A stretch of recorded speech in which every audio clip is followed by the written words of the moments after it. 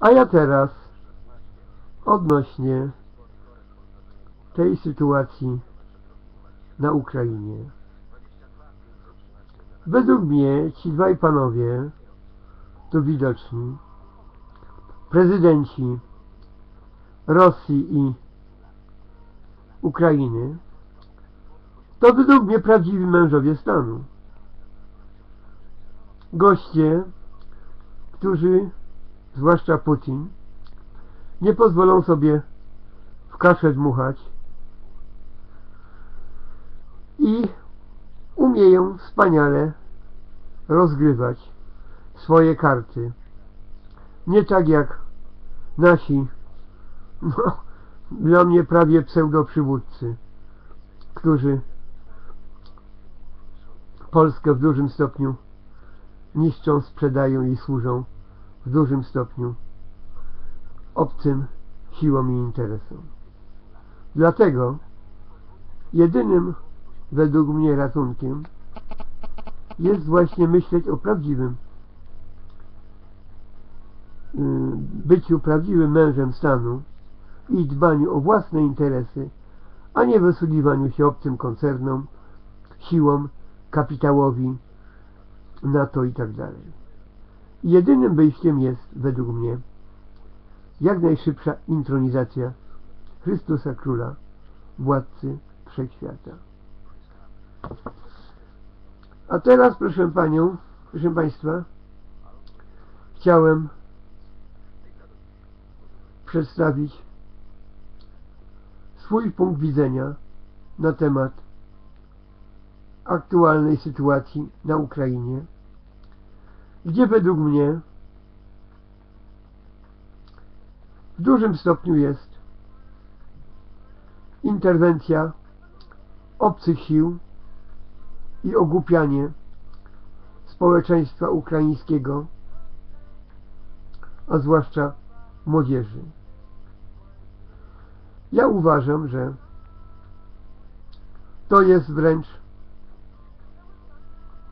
przynajmniej z punktu widzenia Putina i Janukowicza, w dużym stopniu obcy spisek celem obalenia go i okrążenia Rosji. Janukowicz jak zacznie ustępować, no to po prostu może się z władzą pożegnać. Ale nie sądzę, żeby był taki frajer. Tym bardziej, że ci pseudomajdanowcy są coraz bardziej nawiedzeni, zapaleni, wręcz faszyzujący, że nawet Unii się to przestaje całkiem podobać. A najlepsze będzie, gdy się to w końcu obróci przeciwko Unii, ideologii gender i kapitalizmowi. Co daj Boże jak najszybciej. A proszę Państwa,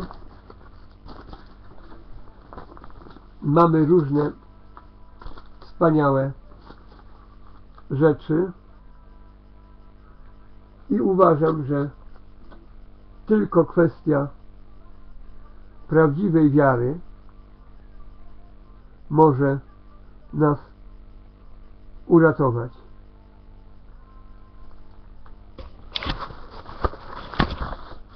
A tu mam zdjęcie wielkiego przepowiadacza księdza Bronisława Markiewicza, który już dawno przewidywał, że dojdzie do III wojny światowej i odrodzenia Polski w prawdziwie nowych wielkich granicach, praktycznie od morza do morza, czyli że poniekąd Ukraina, przynajmniej znacznej części, prędzej czy później powróci do Polski.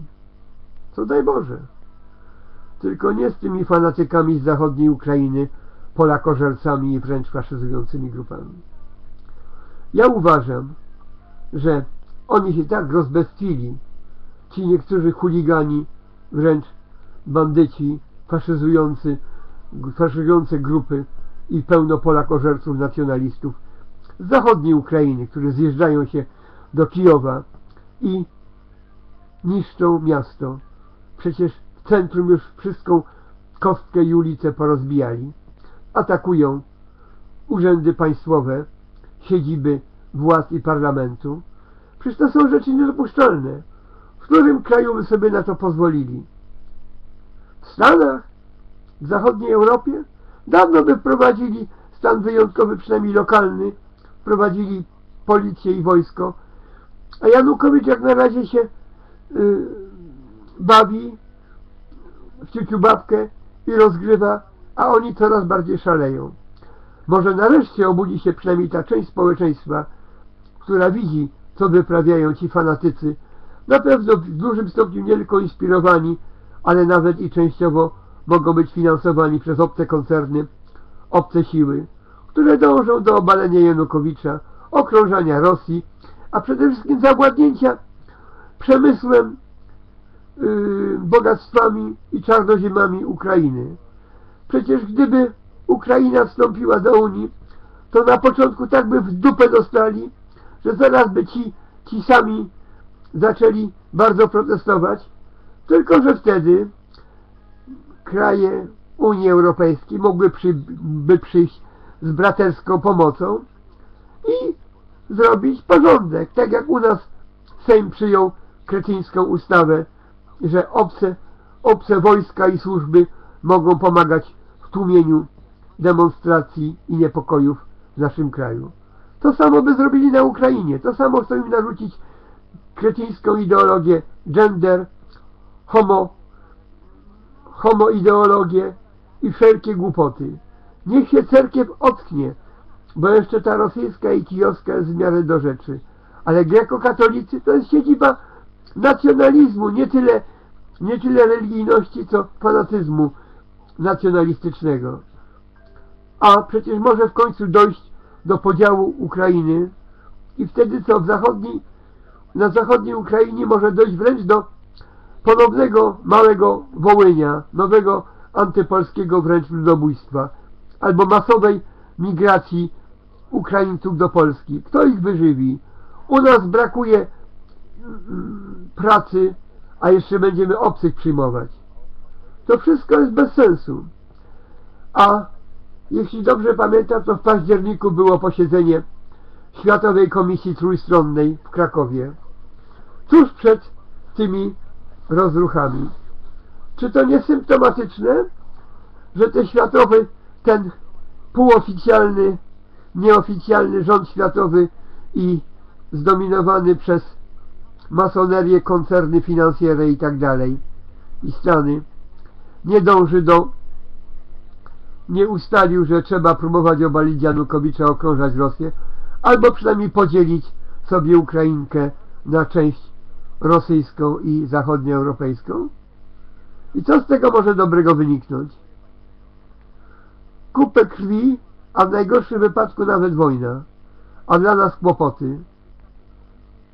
A młodzież się daje, daje wpędzać w kanał, a różni fanatycy i chuligani mają pole do działania.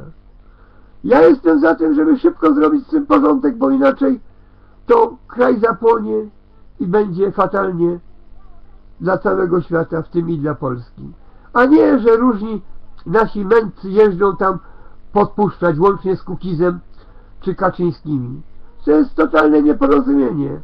Ja byłem zdziwiony, że Pan Bóg dopuścił, że Kaczyński nie wygrał wyborów prezydenckich. Ale w tym był chyba palec Boży, bo on by mógł doprowadzić nawet do jakiegoś konfliktu czy wojny z Rosją. W wielu sprawach wewnętrznych ma sporo racji, ale gdyby sam doszedł do władzy wyłącznie PiS, to też byłoby niebezpiecznie. Bo możliwe, że po śmierci brata yy, pan Jarosław się troszkę ocknął. Ale on przecież też ma kontakty z masonerią i, i wysługuje się też w mniejszym lub większym stopniu różnym siłom zachodnim, kapitalistycznym i tak dalej. A przede wszystkim mają, mieli, a może i mają zajoba antykomunistycznego, antyrosyjskiego i tak dalej. A Słowianie powinni się łączyć i walczyć o przywrócenie prawdziwego ewangelicznego socjalizmu, a nie wysługiwać się y, obcym kapitałowi światowemu i, i masonerii. Więc dlatego tylko ora et labora i intronizacja Chrystusa Króla, co daj Boże jak najszybciej. Amen. I zrobić porządek z Majdanem i z tymi idiotami, co atakują urzędy państwowe, bo potem może być za późno dla Ukrainy, Polski i świata. Więc módlmy się i działajmy. Amen.